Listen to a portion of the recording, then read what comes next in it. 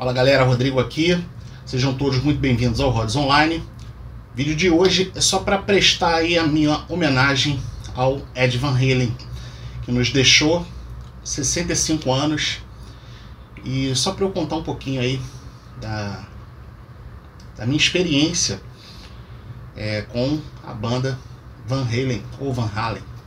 Eu comecei, obviamente, que eu, a recordação que eu tenho é de ter escutado a música Jump, tocava muito nas rádios, mas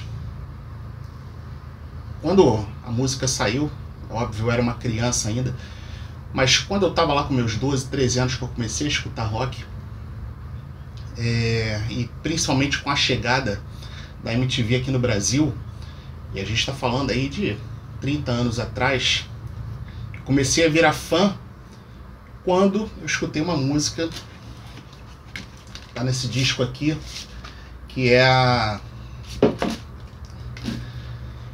que é a Pound Cake que eles tocaram no VMAs cara quando eu vi aquele cara ali com a, a furadeira ali eu fiquei pô, realmente impressionado. E comecei a, a buscar material da banda. E naquela época, cara, era, era um pouco mais complexo. Não, não, a gente não tinha a facilidade que a gente tem hoje em dia para conhecer as bandas. E aí eu comecei a procurar, cara. Comecei a, a conhecer. Obviamente, quando eu escutei o Van Halen número 1, porra, fiquei pirado também. E, cara, falar o que do, do Ed Van Halen, né, cara? Infelizmente, estamos perdendo quem é da minha geração, nós estamos perdendo os nossos heróis. O, o Ed Van Halen, na minha opinião, junto com com Jimi Hendrix, são os dois guitarristas que, além de guitarreiros influenciadores, são os caras que inovaram no instrumento, né? Os caras que trouxeram coisas totalmente novas e que os caras influenciaram milhões de guitarristas aí pelo mundo. Isso aí é chovendo molhado, né, cara? Mas o que eu queria contar mesmo era essa experiência aí que eu tive com a banda, apesar de já ter escutado aí nas rádios, escutava muito som com, com Sammy Hagar também, mas depois daquela apresentação lá na, no VMAs da MTV, ali eu comecei a buscar, e aí obviamente comecei a comecei a comprar material da banda. Primeiro CD que eu tive do, do Van Halen, que eu nem peguei, tá, tá guardado ali, foi o, o Live right, right Here, Right Now, mas é o ao vivo, duplo. Cara, aquilo ali eu escutei até gastar aquele CD. Tenho até hoje, né? Comprei na época e tenho até hoje. Infelizmente, cara, é uma é uma perda assim absurda que a gente que a gente tem não só para a história do rock, como para a história da música de uma maneira geral.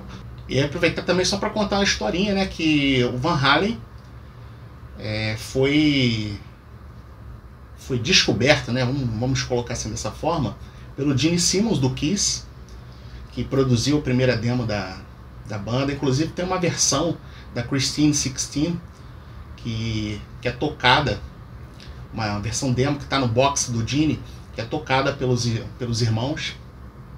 E o Dini, o Dini inclusive quando ele quando ele ficou sabendo da do falecimento do Ed Van Halen, né? E todo mundo já sabe, faleceu, porra, estava lutando contra um, um câncer aí há anos. O cara foi um guerreiro. Tava num sofrimento absurdo, né?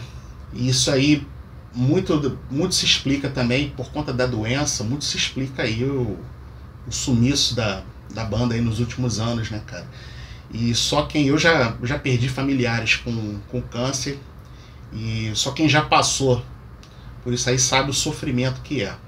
Tanto para a família como para a pessoa, então nem se fala, né?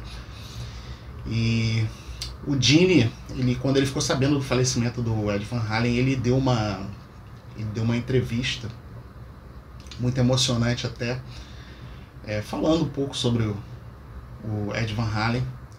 E aí eu vou encerrar esse vídeo aí com, essa, com essas palavras aí do Gene Simmons. I just found out um, Eddie Van Halen passed away. Uh, I'm heartbroken.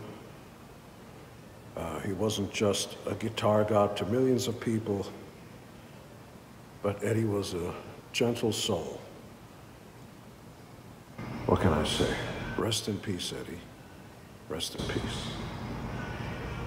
Eddie Van Halen here, telling you, keep playing, man. Gotta keep playing. It's the only thing there is. Music, man. Keep playing. All right?